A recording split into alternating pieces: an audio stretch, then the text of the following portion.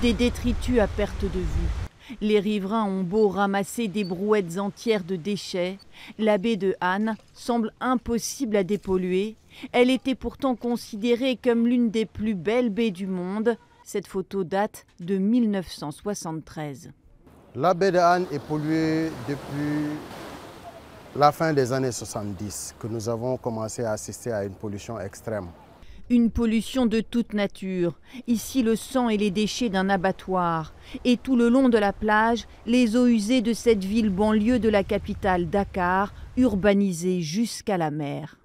Il y a une école à 20 mètres. La porte d'entrée de l'école est là, à 20 mètres. Ils ont euh, placé le canal. Et ils l'ont vu. Ils l'ont vu sans pour autant faire aucune étude d'impact environnemental et social.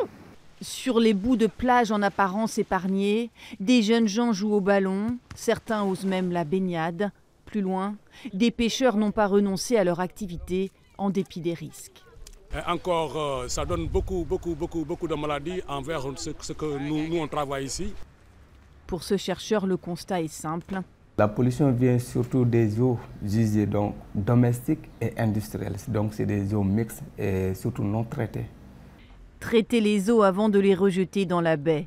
Une centrale d'épuration est en construction, capacité 26 000 mètres cubes par jour, soit les rejets de 500 000 habitants.